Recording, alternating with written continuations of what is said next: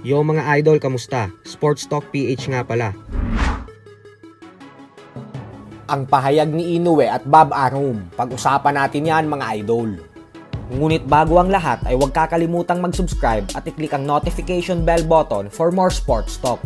So sa interview nga po sa kasalukuyang undisputed bantamweight world champion Japanese monster Naoya Inoue sa Japan, ay kinumpara nito ang kanyang sarili sa ating pambansang kamao at nag-iisang 8 Division World Champion ng boxing na si Manny Pacquiao. Paliwanag ni Inoue na si Pacquiao daw kasi ay habang umaakyat ng timbang at lumalaban sa mas mabibigat na dibisyon, ay mas lalo umanong tumataas ang fighting stability nito. Kumbaga ay mas lalo umano itong nagiging mas matatag. At sa palagay niya umano ay ganun din ang mangyayari sa kanya. Kung saan kapag umakyat na din daw siya ng 122 pound super bantamweight division, ay mas lalo din tataas ang kanyang fighting stability at mas magiging matatag din daw siya. Ito din umano ang dahilan kung bakit hindi ganun kaganda ang kanyang naging performance kontra sa former WBO Bantamweight World Champion Paul Butler. Sa dahilan na nahirapan umano siya magbawas at kunin ang tamang timbang na 118 pound limit ng bantamweight, kaya naman hindi umano ganun kaganda ang kanyang naging fighting stability sa gabi ng bakbakan na yun. Pero ganun pa man nga po ay wala na daw siyang mahihiling pang iba dahil napakasaya niya umano na nakuha niya ang kanyang ultimate goal na pagiging isang ganap na undisputed world champion. Naalala niya pa daw kasi yung mga panahon na nag-uumpisa pa lang siya, kung saan lagi pang nilalangaw ang venue sa tuwing lumalaban siya. At habang tumatagal ay padami na daw ng padami ang nanunood sa kanya, hanggang sa laban niya kay Butler ay tuluyan na umanong na sold out ang venue.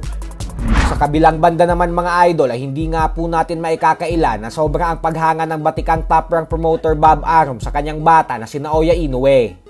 Ito ay dahil sinabi mismo ni Arum na sa mahigit limang dekada niya sa mundo ng boxing, ay kailanman umano ay hindi pa siya nakakakita ng katulad kay Inoue na may kakaibang taglay na lakas ang kamao. Ibang klase daw talaga itong si Inoue. Dahil sa oras umano na tumatama ang mga solidong suntok nito sa kalaban, ay agad bumabagsak at hindi nakakagalaw ang kanyang mga katunggali. Kaya naman napaka-espesyal daw talaga ng binansagang halimaw ng Japan. Dagdag pa ni Aron na sa palagay niya ay si Tyson Fury lang umano ang boksingerong makakatalo kay Inoue dahil syempre isang heavyweight world champion si Fury. Ganun pa man ay nakakatakot daw talagang boksingero si Inoue. Yung tipong maaawa ka na lang sa mga makakalaban niya dahil hindi pa nagsisimula ang laban, pero alam mo na umano na hindi magiging maganda ang sasapitin nila sa ibabaw ng lona. Samantala, sinabi naman nga po ng WBO Intercontinental Bantamweight Champion Vincent Astrolabio na handa siyang labanan ang kahit na sino mang itatapat sa kanya. Hindi umano siya natatakot dahil mas malaki ang kanyang pangarap, ang maging isang ganap na world champion sa lalong madaling panahon.